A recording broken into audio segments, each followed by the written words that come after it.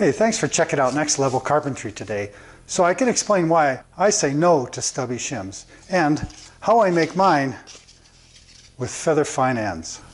Most purchase shims have stubby ends on them. You've all seen them, and those are fine for general carpentry work and a lot of window and door installation jobs. But as most of you know, I'm a pretty fussy guy.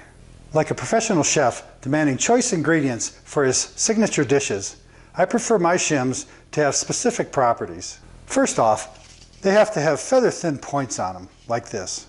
This allows me to make very small, precise adjustments for things like cabinet installations.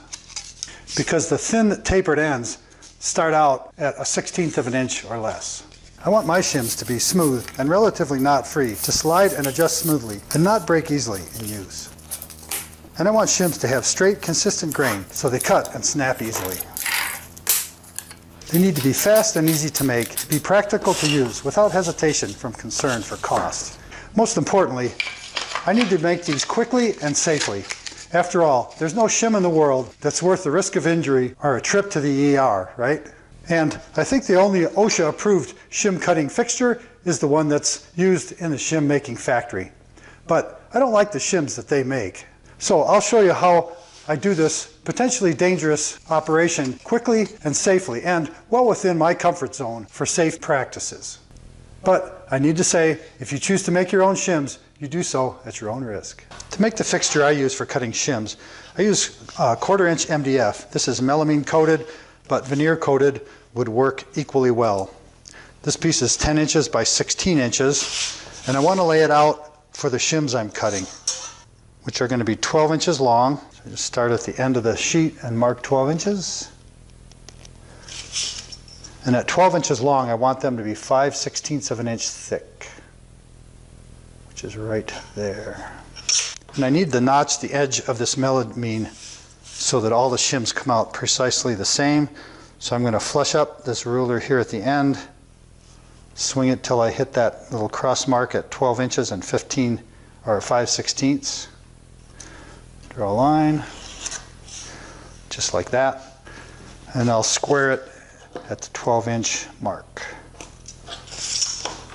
So this is the exact size of my shims here, and I need to cut that out quite accurately. Other shim cutting videos on YouTube generally use a bandsaw to cut out the notch to the shape of the shim. But I don't like that because a bandsaw cut's going to be a little bit wavy. So I'll show you a quicker, more accurate way to do that. I start out with another piece of quarter inch material that's wider than my fixture. This piece is extra wide, but anything even just a little bit wider is good.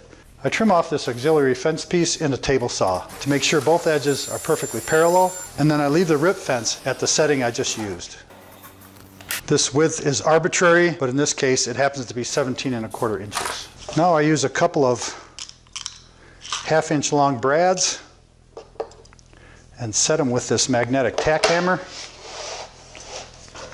And all I have to do is line up the edge of this overlay piece perfectly with the pencil mark on the fixture and tack it in place.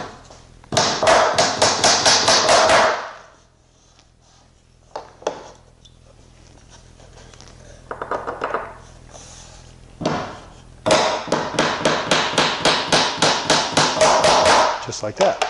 Then I take the fixture with this auxiliary fence on it back to the table saw. I've raised the blade so I can cut closer to the spot where I'll cut the heel out by hand.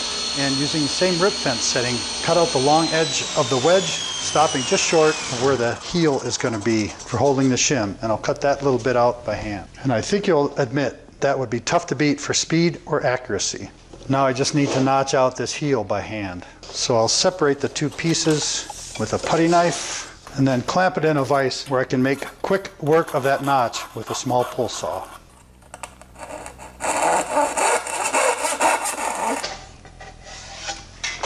Just like that. With the shim notch cut out, I need to add a strip of this maple stock that's sized to fit my miter slot to the underside of the jig to guide it during use. This piece needs to be perfectly parallel to the long edges of the fixture. So I'll show you how I set that up. I made this fixture piece exactly 10 inches wide on purpose. So I've set the rip fence to 10 inches so that just skims the teeth of the blade. Then I'll drop this maple strip in. You can see how this fits in this miter slot. It's flush with the top of the saw uh, and it doesn't wiggle but it slides smoothly. A bit of Starbond CA glue is the quickest way I know to get these two pieces lined up and stuck together. And make note that this miter slot bar is slightly longer than the fixture on both ends. And it goes about here. So I'm just going to spritz the back side of this melamine with the Starbond accelerator. Right along that pencil line. Then I'll use their medium CA glue. Just put some dabs on here, to hold everything in place. Now I just drop this piece on here, holding it tight to the fence and pressing it down firmly to that miter slot bar. And I can hold it for a few seconds till the glue reacts and tap it loose because I got a little overzealous with that CA glue. Once the guide bar is lined up and stuck to this melamine board, I can flip it over and then use this small snappy bit to pilot and countersink for screws to hold the pieces together. I recently got these carbide tipped snappy bits to replace the old high-speed steel ones I've had for many years and these things are amazing. They've got a different drill bit design that cuts really fast and efficiently and that carbide is razor sharp and gets right into this melamine.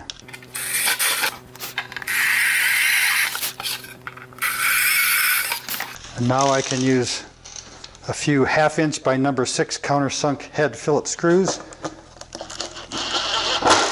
to hold this together forever and always. I got my snappy countersink holes too deep. I got a little overzealous with that. But these screws didn't come out the bottom. The reason I add screws to this is because CA glue and melamine are pretty brittle and if I bump the fixture while I'm using it, it could easily knock that guide bar off. But with the glue and the screws, that thing's there for good. I'll use a sharp putty knife to clean up the little extra glue that's squeezed out. And make sure the screw heads aren't sticking out the bottom of this maple. So it'll slide nicely in that miter slot. And now this fixture can be used either with or without the rip fence for cutting consistently precise shims, as long as I feel like doing it. To make my uh, shim cutting fixture a little more user-friendly, I want to put a handle on it. I see some YouTube channels where a block of wood gets screwed onto the fixture somehow, but this is next level carpentry, so we're going to do a little better than that. Basically what I'm doing is taking one of my favorite push sticks. Uh, there's a link to a video uh, to show how to make these, but I just take a modified one of these with the heel cut off. Looks like this, and I want to attach it to the fixture so that I can use it with my fingers uh, as far from the blade as possible. And this is how I do that. I want this handle about two inches from the back and centered up on this piece. So I can just mark it out 10 inches wide, 5, 4 and 5 eighths to 5 and 3 eighths will be centered. Like that. I also added a center mark at 5 inches. So I can drill a few holes in there.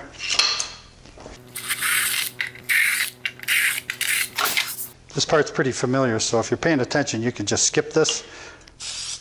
Put a little activator on the bottom of the handle. A few dabs of glue here.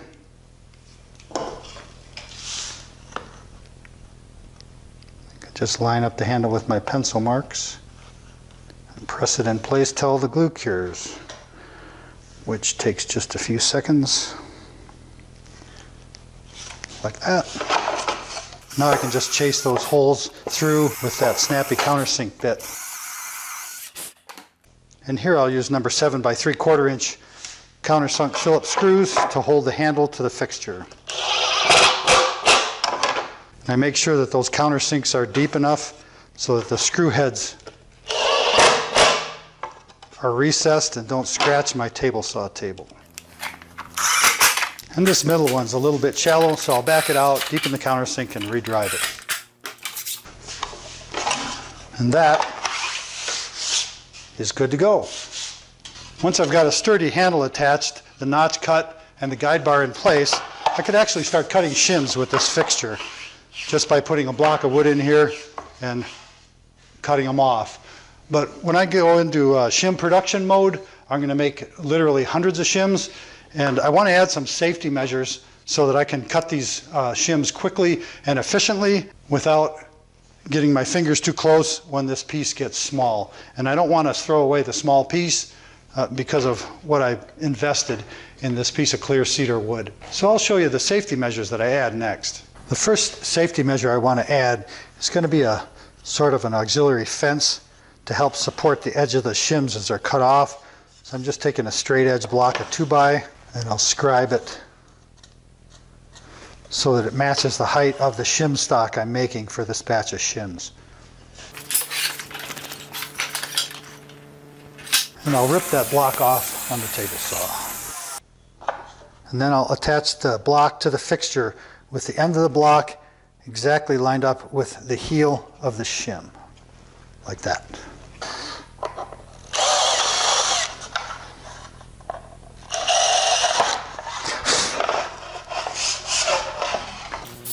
Third verse, same as the first two.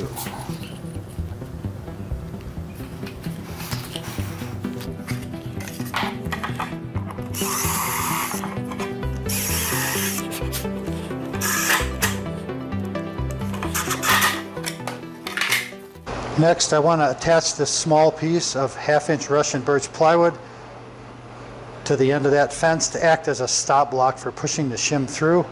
And all my extensions are out on a job site, so I've got this ridiculous setup to run a snappy bit in the end. so that I can use a 2-inch square drive screw to hold that stop block in place.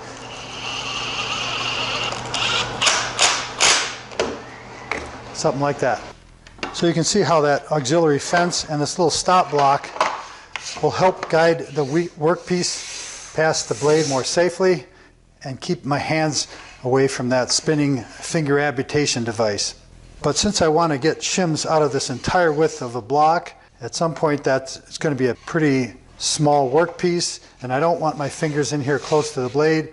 So I'll add one more safety measure, which is kind of a hold down block that attaches to this fence and extends out over the workpiece. I used a 3 quarter inch Forstner bit and a 1 inch core box bit in drill press to put nice finger indents in the working end of my little hold down block.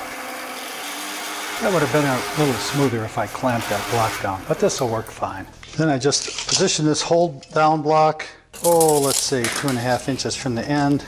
Use a snappy bit to countersink a couple holes and drive in a couple of inch and a half square drive screws to hold that hold down block in place. And now a little finger pressure out here will keep the jig working safely, efficiently, and smoothly. So the last thing I need to do before going into full shim production mode is to swap out a thin kerf blade for an ultra thin kerf blade specifically dedicated for cutting shims. I'm using this Bosch 24 tooth 7 and a quarter inch skill saw blade which is ultra thin kerf and great for ripping wood like this with a minimum of waste. This blade happens to have a 5 8 inch arbor, which is exactly what is standard on my Delta Unisaw. And last but not least, I'll switch out the zero clearance insert to one that matches this skinny, skinny Bosch blade. And set the blade height so that it'll cut through the shim like that. The first pass past the blade will trim the end of this block ever so slightly, put a small cut in the underside of this hold down block, and trim off this uh, stop block here so it's all custom sized to making these specific shims. And now I'm all set for a test drive of this 12 inch long, nothing to 5 16 over 12 inch shim cutting fixture. I flip the block over after each shim is cut to keep the workpiece relatively rectangular so that the shims come out straight grained instead of cross grained.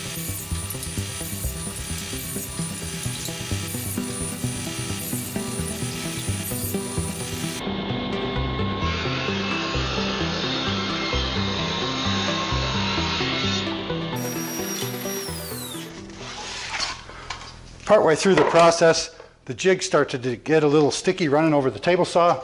So I took uh, Johnson's paste wax in a rag and wiped down the bottom of the jig and the runner with a liberal coat of paste wax that helps it slide real smooth through the table saw.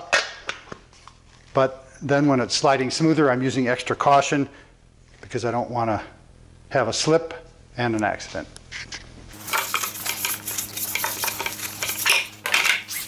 Grease lightning.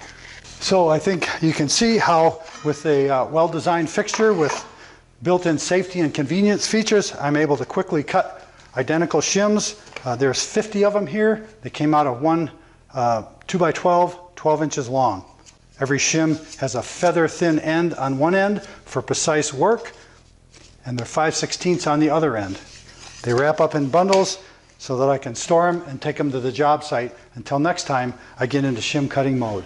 When Chip heard that I made a new shim cutting fixture and had a whole stack of cedar blocks that I needed cut up into shims, he jumped right in and started sawing. He's been at it a while and he's got a ways to go, but I really appreciate all the work he's doing. While he's sawing away over there, I want to thank everyone for watching the video and ask that you consider subscribing to Next Level Carpentry if you haven't already. While you're at it, give that thumbs up button to poke and let YouTube know you like what you see here on this channel. While that pile of shims is growing, it'll end up at right at 400 shims from that stack of cedar. Most times I'll use just random scraps of wood from the job site, uh, but this time for the video, I wanted to have a good stack to do all at the same time, so I went that route. It's been a few years since I made a pile of shims, so this batch of 400 will last me for a couple of years. But I wanted to get them made for the upcoming project I'm uh, doing this winter. And starting off on that project, I need a bunch of these shims. And when I get some videos produced from that job, you'll see why and how. I made a complete list of the tools and supplies I used in this video for making that jig, and I included them in the video description below, so you can check those out. And I gave Jeff Bezos at Amazon a call, and he said anything you buy through those links will be the same low online cost you're used to, but he'll help support Next Level Carpentry by sending just a teeny fraction of his trillions of dollars of profit to this channel for ad fees. So I really appreciate it. I appreciate everyone who's joined the group at Patreon, becoming a patron and pledging to support the channel. It helps offset the costs involved in producing videos like this that you can watch for free and offset income I'm not making out on a job site, which is what I'd be doing if I wasn't shooting videos. So that's really helpful. And anyone that's interested in uh, becoming a patron, there's a link to Patreon below, and it would be great. T-shirts like the ones Chip and I are wearing are available at Teespring if you're interested in that, or maybe a Next Level Carpentry logo mug for your desk or shop. Links to that are below also. Well, Chip's really getting after it, and he'd be making a pile of sawdust if it wasn't for the dust processor running over there. But he's going to be through that stack before too long. So, until next time, and as always, thanks for watching. Yo, Chip, pile's looking good. You want to like take a break over there? He's not listening. Chip, yo, Chip, want to cut it off? Call it a day? No? You're good? He's not to stop till he's done. And we got things to do, so catch you later.